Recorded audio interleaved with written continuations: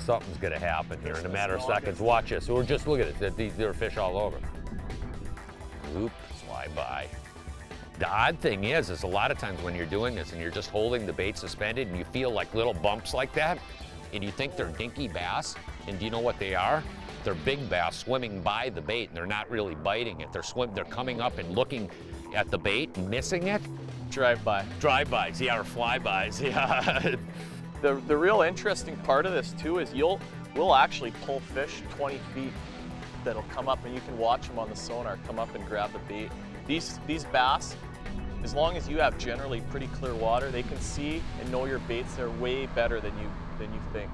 I think one of the biggest things is also is, is getting the relative height of where the fish are willing to bite the bait. You don't want to, like a lot of times, most bass anglers, when they see the fish down on their, their electronics, what they do is they drop the bait right down to them. What we're doing is we're holding the bait above them a distance and forcing the fish to come up and strike the bait. And that's a big part, big part of it.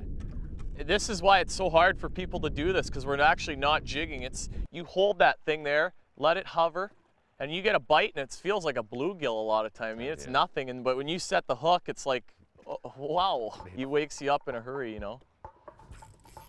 Ah, it's real high. That was really, real high.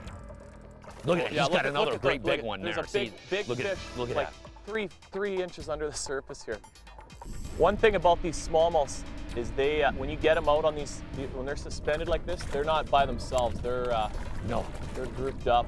Well, that's the that's the interesting thing. This is like what you're talking. This big schools of these fish. I mean, tremendous schools of, of bass. And it's uh, once we actually got on this technique and we started messing around, it took a number of years for guys to really fine tune it. And a big part of it is the presentation, the subtlety of the presentation. You know what I mean? We, as you'll see, what we're doing, we're literally taking. This is a Trigger X minnow, and it's on a. Uh, a smooching head with, and what you want this bait to do is just hover vertically above the fish.